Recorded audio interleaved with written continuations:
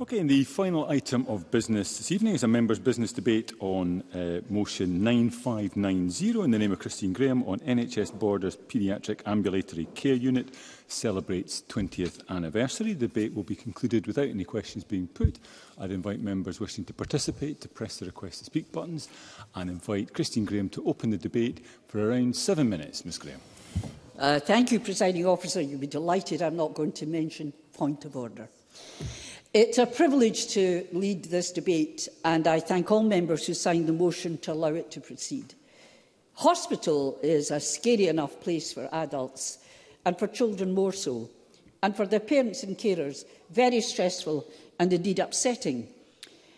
So the philosophy behind ambulatory paediatrics, which is a bit of a mouthful, is that children should not be admitted to hospital unless absolutely necessary and as much as possible Care should be arranged in their own homes. I might add that this is perhaps especially important in rural areas with long distances to a hospital, local or indeed a hospital out with the area, with remoteness and limited public transport. I have no doubt this process helps with the entire experience, indeed the treatment and healing and recovery process for the children. Adult services indeed have since built similar models on seeing the success of the paediatric ambulatory units. So tonight I am pleased to congratulate NHS Borders Paediatric Ambulatory Care Unit, which has recently celebrated its 20th anniversary. The unit is based at Borders General Hospital, known locally as the BGH, in Melrose. And I understand that they ambulatory care unit is a fundamental part of a wider innovation of children's health care at NHS borders, which also includes social care, with a focus on keeping children at home and, as I say, avoiding time in hospital where possible. As I stated, it was set up on 20th May 2003 to allow the children to receive treatment and return home, rather than having to be admitted to a ward, and that over these last 20 years, Thousands of children have attended the unit to have a range of assessments, procedures, investigations and treatments. Located in Ward 15 of the BGH, the unit, named quotes, only for the day, close quotes, was set up to provide daycare for children who require such things as blood tests, medical assessments and allergy testing. Before the unit opened, these children would have gone to Noah's Ark and been treated alongside children who'd been admitted to a ward as inpatients. They also do BCG immunisation clinics at the unit. So this service importantly separates inpatient and outpatient services. Only for the Day also provides a friendly, relaxed environment for the children and the nurses can dedicate their time to caring for them and they build up relationships with the children and their families Again, all helping the healing process. And of course, this means less time waiting for treatment and less anxiety, as I've said already, for everyone.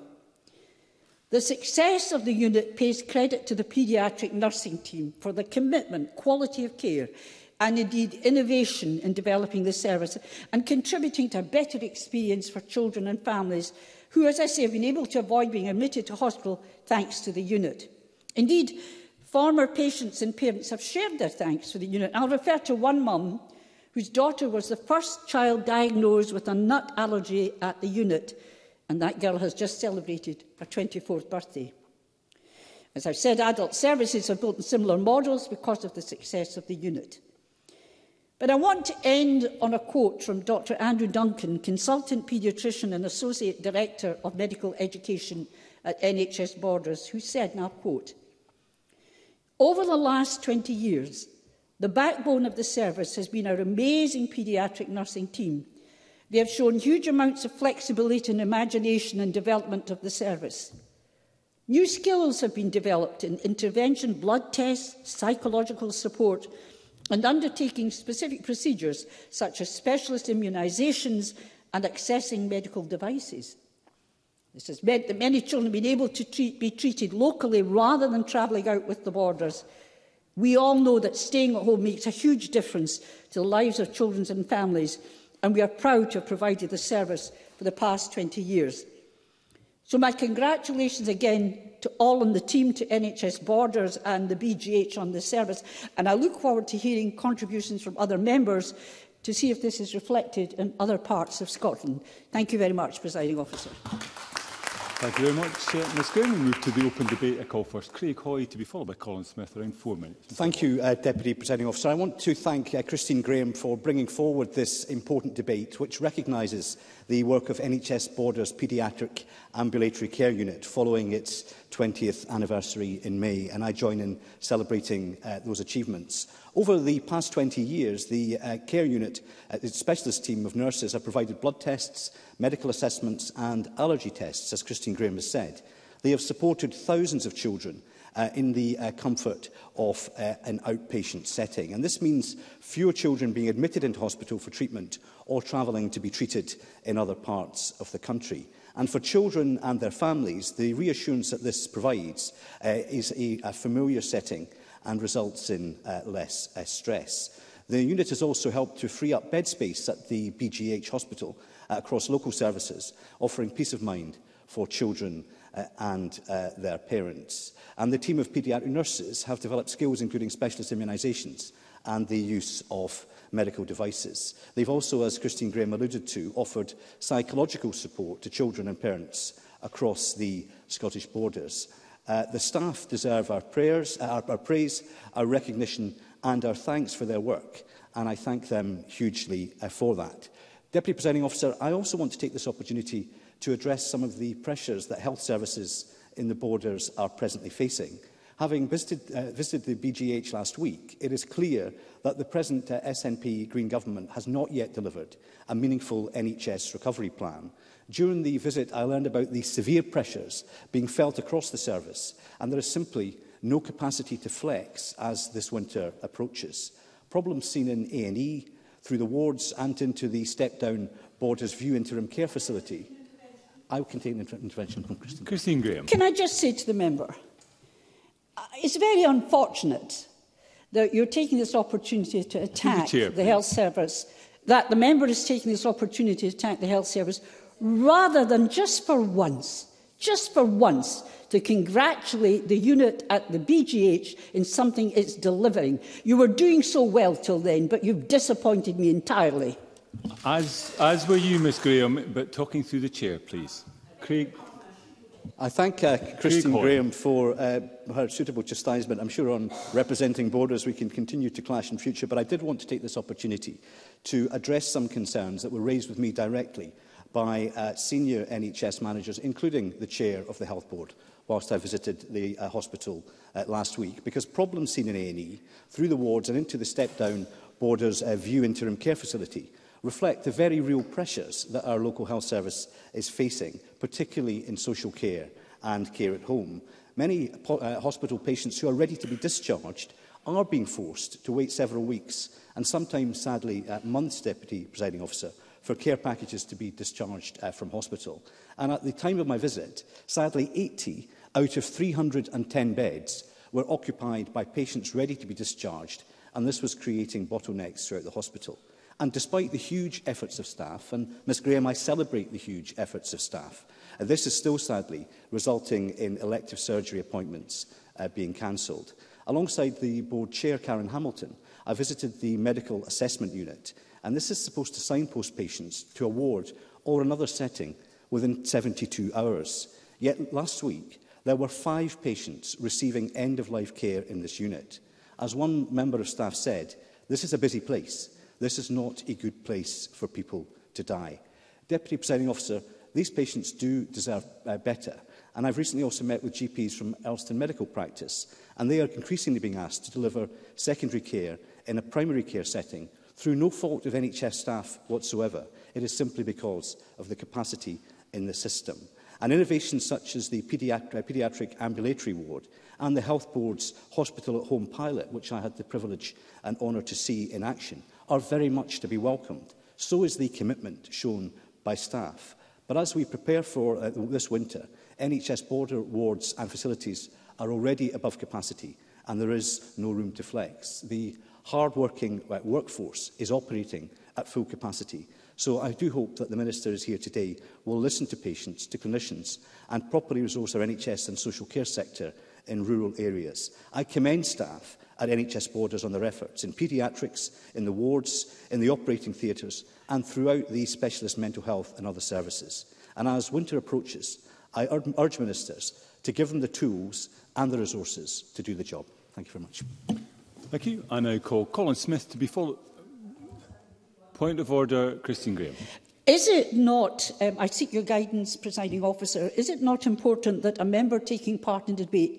speaks to the motion before the chamber and doesn't deviate so far that you're not actually speaking to the motion? I thank Christine Graham for a point of order. Uh, that is indeed um, a requirement uh, under standing orders. However, I um, did not see any reason uh, to intervene on the member who was referring to the motion uh, at various stages throughout his speech. And I call Colin Smith to be followed by Emma Harper. Around four minutes, Mr Smith. Thank you, President Officer, and thank you to Christian Graham for lodging her motion for debate. I think providing a, a welcome opportunity to commemorate the 20th anniversary of, of the Paediatric Ambulatory Care Unit at Borders General Hospital, but also a chance in particular to thank all those NHS staff, past and present, for the outstanding care they've provided for children across the borders over many years. I'm personally immensely proud and grateful for the remarkable contribution this unit and the wider NHS Borders team make every single day to support so many of my constituents and those of other members, more so, no more so than in these incredibly challenging times. Two decades ago, NHS Borders embarked on a journey to enhance healthcare accessibility for the region's children and families. The inception of the unit, known, as Christian Graham has said, only for a day, on the 20th of May 2003 was a testament to the staff's commitment to the well-being of our youngest citizens. And as we've heard, since then, the team working from the unit have treated thousands of children, crucially without the need for them to be admitted to a ward or also importantly, sometimes to travel with the region for treatment, making a significant contribution to the innovation of children's healthcare within the NHS. As Dr Andrew Duncan, consultant paediatrician and Associate Director of Medical Education at NHS Borders, said at the time of the 20th anniversary when paying tribute to the paediatric nursing team, New skills have been developed in interventions, blood tests, psychological support and undertaken specific procedures such as specialist immunisations and accessing medical devices. Prior to the unit being set up to provide daycare for such things as medical assessments and allergy testing, children would have to come into hospital to Noah's Ark and be treated alongside children who had been admitted to the ward as inpatients, with all the anxiety this can mean for children, but also for their parents. So in 2003, the new unit was, formed, was forward thinking and 20 years on, it continues to play a hugely important role in the care of borderers, but also in influence other such initiatives across the rest of Scotland. But it does so at a time our NHS is facing its biggest challenge in its 75-year history, and no more so than the care of children in the borders. For all the positive achievements of the unit, we've still got the challenge of the average wait time for paediatric surgery outpatients in the borders running currently at an average of 74 weeks. And child and adolescent mental health service waiting times in the borders mean that currently only 31% of young people are being seen within 18 weeks, falling short of the government's legal. I'll take an intervention on that. Yeah. Emma Harper. Thank, I thank Smith for taking an intervention. Would you uh, welcome the fact that the paediatric ambulatory care nurses are mental health first aid trained because it can be quite anxiety provoking and it can also help uh, deal with some young people that are having mental health challenges?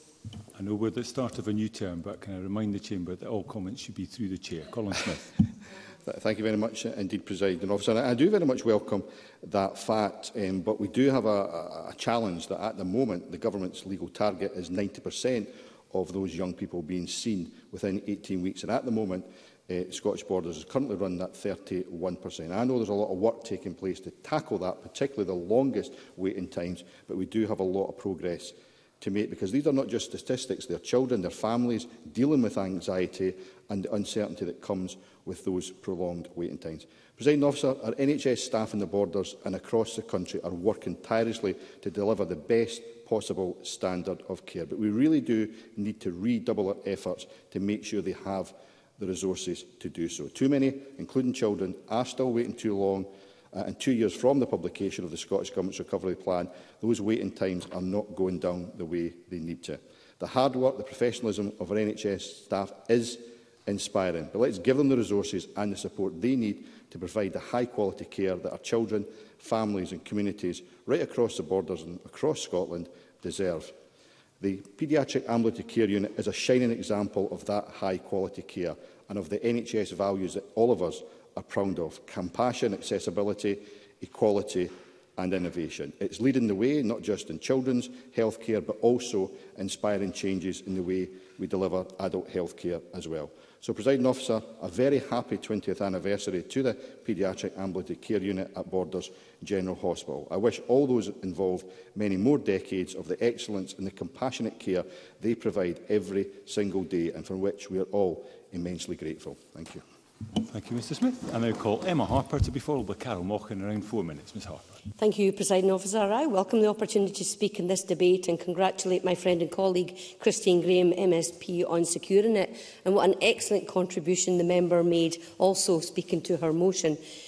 I too want to start by thanking all of the staff at NHS Borders for the work that they do every day. But in relation to today's debate, I want to pay particular thanks to those staff working in the Paediatric Ambulatory Care Unit at Borders General. As a registered nurse myself, I have experience in adult ambulatory care and a wee bit of paediatrics as well, and I know the vital importance of ambulatory care. It bridges the gap between the hospital and community children's services. It concentrates on areas such as accident and emergency and outpatients. It works at at improving communication with families and the primary health care team and importantly works with the home care nursing services to develop new services such as day units. Presiding officer, the unit at Borders General is a fundamental part of the wider innovation of children's health care at NHS Borders, with a focus on keeping children at home and avoiding time in hospital where possible. The Paediatric Ambulatory Care Unit was set up 20 years ago eh, on May 2003, as has been described, and it's to allow children to receive their treatment and go home rather than needing to be admitted as a, eh, as a ward inpatient. In the last 20 years, over 8,000 children have attended the ambulatory care unit to have a range of assessments and procedures and investigations and treatments, and this has been described by colleagues as well. And over the, the past 20 years, eh, as Dr Andrew Duncan describes, he says the backbone of the service has been our amazing paediatric nursing team. It's worth mentioning that again. They have shown huge amounts of flexibility and imagination and development in the service. And we know that new skills have been developed, like intravenous interventions, blood tests, psychological support, which I've mentioned in my intervention, because I think it's really, really important that we help support mental health uh, addressing of any young people, whether they come through any service, but including the ambulatory care service. And the work that's been carried out by the exceptionally dedicated and specialist healthcare professionals has meant that children have, to be, have been able to have the treatment locally rather than travelling outside of the borders. We know that staying at home makes a huge huge difference to the lives of children, but as also the families and the team, both past and present at NHS Borders, should be absolutely proud of the service that they have created. Ambulatory uh, paediatrics is an exciting and challenging area to be involved in with much scope for development. And I was interested to read that over the last 10 years, there's been a 30% increase in the number of under five-year-olds attending emergency departments, and this compares to an increase of 15% for all children and young people seeking urgent care over the same time period. And these figures are due to a change in demographics and a change in carer behaviour and for several reasons. And I was swithering, presiding officer, about whether to include more detail about the, the issues of uh, attendance at emergency departments. But I, I will mention that the, the lack of paediatric experience in primary care and the uh, assessment of risk does play a role in increasing referral rates to secondary care services and this demonstrates why paediatric units like the one in Borders General are so important. In paediatrics, the investment in a virtual hospital care model is increasing as acute settings struggle to manage the pressures of the increase in demand. I would like to ask the Minister whether learning can be taken from the Borders Unit and replicated across other health boards to both alleviate pressure on boards and help improve outcomes for children and young people. In conclusion, presiding officer, I put my thanks on record to all the staff at NHS Borders for leading the way in the Paediatric Ambulatory Care Unit and congratulate Christine Graham on securing this debate. Thank you, Ms Harper. And I now call final speaker in the open debate, Carol Mochan, around four minutes, please. Thank you, Presiding Officer. And can I thank Christine Graham for bringing this motion to the Chamber today. As I begin my remarks on behalf of Scottish Labour um, Health Team and as an MSP for the region, I congratulate NHS Borders on the 20th anniversary of its paediatric ambulatory care unit based at Borders General Hospital in Melrose that we've all been talking about this evening. There are few things more important than the health and well-being of our children and that there remains such specialist and focused provision in the borders today is a real positive and shows the importance we can place on dedicated paediatric care. Looking at the NHS board description of the ward, it is heartening to learn that amongst the key aims of the unit includes a desire to reduce waiting times for children and have nurses in place with a specific responsibility to care for them whilst visiting the ward. I think, as many others have said, that will be greatly received by the young people but also by their families. Importantly, presiding officer, this service remains in the borders in a time when so many people have to leave the borders for work and other services. This NHS provision remains firmly within the borders and services the people of that area. As an MSP for South of Scotland, I cannot count the number of occasions I have heard residents having to travel to Glasgow or Lanarkshire or Edinburgh to uh, receive services. So it is undoubtedly the case the provision of services, including health services, is severely limited at times in more rural areas. Um, so this service should be welcomed and long may it continue in the borders. Presiding officer, as the motion states, I think it is apt that we take time in this debate to pay credit to paediatric nursing teams in the borders and across the country the service of care they provide, the compassion they show and the contribution they make to the operations of our NHS is rightly recognised in the motion and has been recognised by all members in the debate. However, presiding officer, it would be remiss of me and it would be remiss of opposition not to mention that there are problems within the NHS and that we should consider them. We did learn this morning about staggering waiting lists for people, well over one in seven Scots, with thousands of children and young people, particularly in CAMS, on long waiting lists. And the government have not yet met the target um, for CAMS waiting times, 18 week waiting, uh, waiting times for CAMS. So it is important that we do discuss these points when we have the opportunity. However, pres presiding officer, I do accept that we are here to commend the work of the Paediatric Ambulatory Care Service, and I once again do that. I, like uh, uh, my colleague Emma Harper thought the words from the medical uh, director were wonderful when he uh, uh, put forward the point that he thought the, the nursing services had done so well over the 20 years in this service. In concluding, it is right that we've come together um, to, import, to debate this important uh, unit. Um, but I do think that we have a responsibility in the Chamber to ask a Minister, when they are here, to talk to us about the ways in which we can improve services. So I hope that the Minister tonight will congratulate the service, but will outline some of the issues that have to be addressed and how the Government, particularly on this day with the programme for government, will do that. Thank you, Presiding Officer. Thank you very much, Ms Mochen. And I now invite Marie Todd uh, to respond to the debate, Minister. Around seven minutes, please.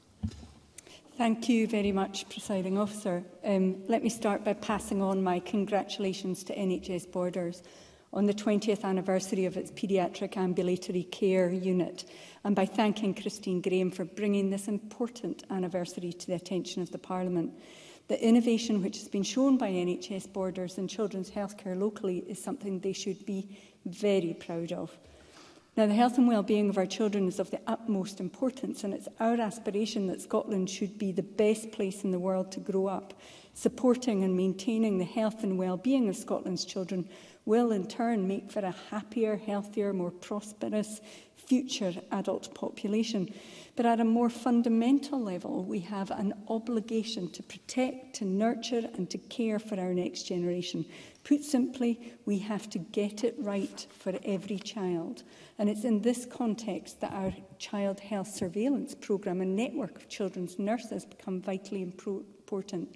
And I'm proud to say that each young family in Scotland is entitled to the support of a health visiting service between from pre-birth to a child starting school.